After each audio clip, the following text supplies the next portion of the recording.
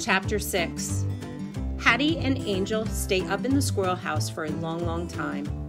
I curl up in the cool grass while Goldie and Patches wander away, muttering to each other.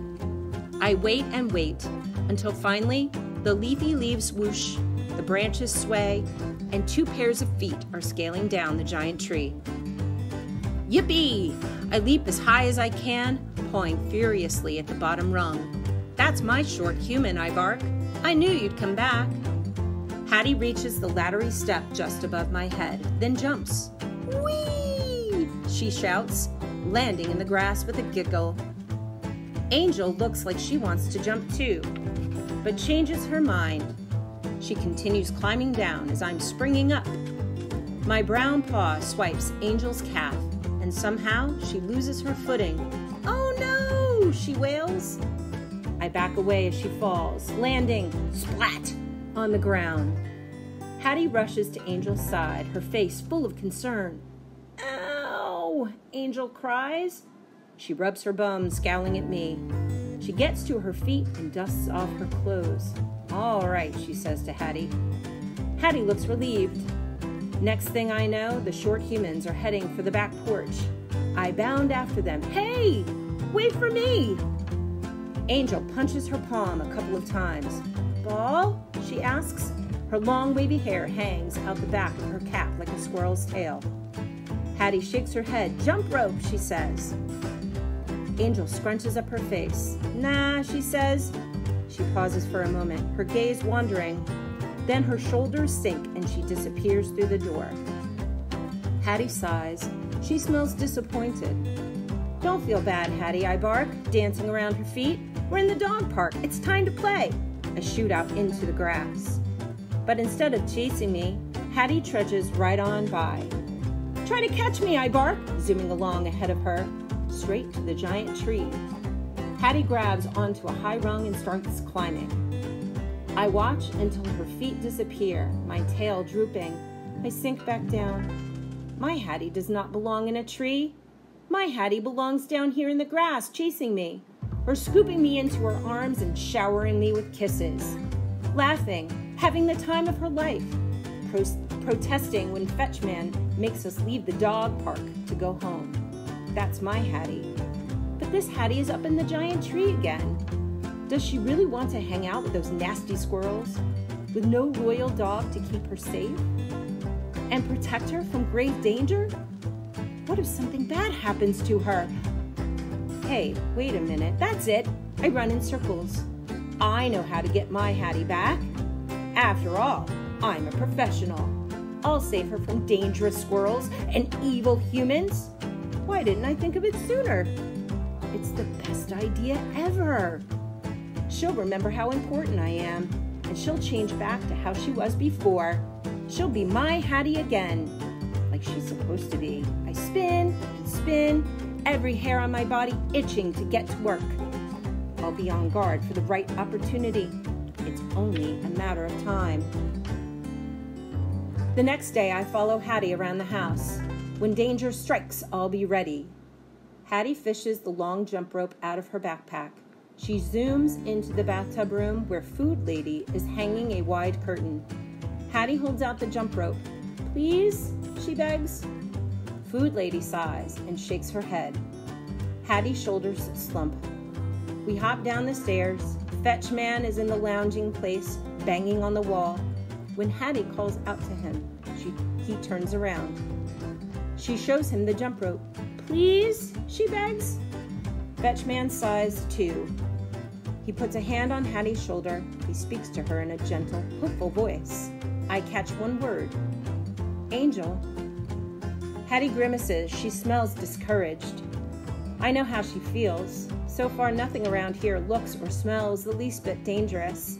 I'm starting to think my plan to save her isn't going to work when that terrifying sound comes from the front door again. Ding dong! I spring into action. Warning! Warning! I bark, bravely rushing to the source of the danger. Nobody go near that door! Fetchman heads right toward it like he doesn't even hear me. Watch out, I bark. It's probably a grave threat to our safety. Ah, a grave threat. This is my big chance to save Hattie. I hurry over to her. Bad news! We're all in jeopardy. Stay where you are. I'll protect you. I race back to Fetchman, growling and snarling. Totally ignoring me, he opens the door like nothing is wrong. Stand back, I bark. I can handle this. I'm a professional. And sure enough, standing in front of us is an evil human wearing a hard hat on his head and dirty boots on his feet. He's carrying a bag that's heavy and bulging. One whiff reveals German Shepherd and telephone poles and a hint of a ham sandwich with mustard. And that's not all. He's whistling. A sure sign of trouble. Fetchman greets the evil human with a cheery voice, like he's happy to see him. He invites him right in, completely unfazed by my growls. Be forewarned, I bark at the intruder. Don't take one step toward that short human over by the couch. The evil human breezes right by, as if he's not even the least bit intimidated. He strolls into the lounging place right toward Hattie. Fetchman and I follow. He's gritting his teeth. I'm bearing mine. I'm ready to nip at some heels if it comes to that. At the flashing screen wall, the evil human stops. He stares at it for a second, even though it's black and not flashing. He squats down and opens his bag. He takes out snaky wires and scary tools. I knew there'd be trouble. Stop right there, buddy! I bark, flinging myself at his leg. There'll be none of those loud noises while I'm around. Fetchman crosses his arms. Hattie, he snaps it as she rushes over, right into the path of danger. Hey, Fetchman is sabotaging my plan. Or is he? Get out of the way, Hattie. I've got this, I bark, thrusting out my chest. This is no place for a short human. Just then, a hand reaches down and rubs my head. Fella, says a strange but friendly voice. The evil human. What is he trying to do? Throw me off my game? Fenway! Fenway! Hattie says, backing, backing away and clapping. She clearly wants to play. Not now, Hattie, I bark. Can't you see how busy I am? She claps louder. Fenway! She says. This time she sounds annoyed. What's going on? This is not a part of the plan. Hattie, I'm trying to protect you from this evil human who has invaded our home. I bark, and whoa! The menace revs up a roaring tool. I lunge toward his arm, stopping a safe distance from the ear splitting sound. Put that thing down before someone gets hurt. Hattie hands close around my torso. Fenway! she cries. Cut it out, Hattie, I bark as she lifts me up away from the evil human. I'm supposed to be the one saving you. And that's not the only problem. Hattie smells different, frustrated. She mutters something to Fetchman over her shoulder. Carries me out of the lounging place. Why isn't she happy that her loyal dog is trying to protect her? She keeps on walking to the sliding door. When she opens it, I finally realize what's going on. We're going outside to the dog park. She sets me down on the porch and gazes into my eyes. She points her finger at me. Fenway, she says, her voice serious. There is something important she wants me to know. Probably that she's completely devoted to me and nothing will ever come between us. And it hits me. My plan worked. We're going to play, same as always. Hooray, hooray, my Hattie is back.